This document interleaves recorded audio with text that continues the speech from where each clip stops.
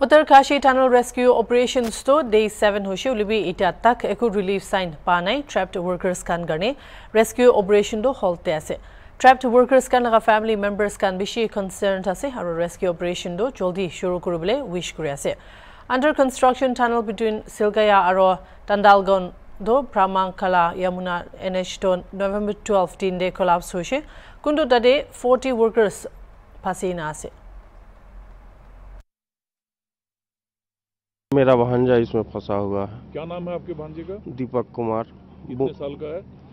बाईस तेईस साल का है। अच्छा कहाँ के रहने वाले हैं आप लोग? मुजफ्फरपुर जिला बिहार। बिहार। ये बताइए कब से आप लोग यहाँ पर हैं और ये कहा जा रहा है कि रेस्क्यू कर लिया जाएगा? आज हम यहाँ चार दिन हो गए आए हुए और पर डे हमें यही आश्वासन मिलता है कि कल सबको सुरक्षित बाहर निकाल लिया जाएगा। लेकिन अभी तक ऐसा कुछ नहीं है। फिर कल देखे कि हाँ होगा कि शाम तक निकल जाएगा फिर दो बजे से मशीन बंद हो गई।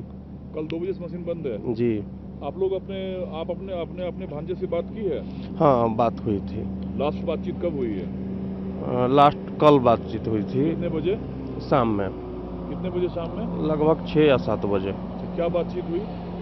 यही उससे पूछे कि हाँ क्या स्थिति है तुम्हारा? तो बोला कि ठीक है थोड़ा सा अ, मतलब प्रॉब्लम तो है ही अंदर खाने पीने से लेकर रहने तक की। लेकिन बोला कि ठीक है हम लोग भी बोले कि नहीं पूरी सरकार लगी हुई है। जितना जल्द से हो सके हो सके तुम लोगों को बाहर निकाल लिया जाएगा। आश्वासन दे रहे हैं और क्या बोले? किस तरह की प्रॉब्लम हो रही है? कोई उल्टी दस्त परेशानी कुछ हो नहीं वो बोल रहा था कि लैट्रिन वगैरह करने में अभी थोड़ा सा परेशानी है। तो हम उसको बोले कि खाना तो खा नहीं रहे हो तो वो तो प्रॉब्लम होगा ही।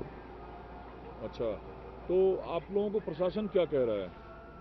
प्रशासन तो यही बोल रहे हैं कि हाँ पर डे कि हाँ कल तक सबको सुरक्षित निकाल लिया जाएगा। और ये चीज़ हम जब चार दिन आज हो गया, आए हुए चार दिन से यही सुन रहे हैं और आज इस सातवां दिन है इस ऑपरेशन का। और फिर कल यही बताया गया है कि फिर कहाँ इंदौर से कोई मशीन आ रहा है। अब वो फिर आज लगेगा, अब क्या होगा, अब तो आने के बाद ही देखेंगे।